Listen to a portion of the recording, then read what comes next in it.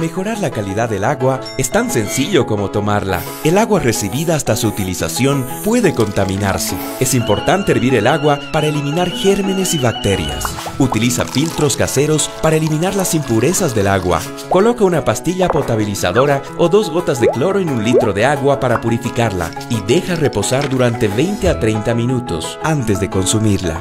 Tengamos un uso responsable y racional del agua. Ministerio de Salud.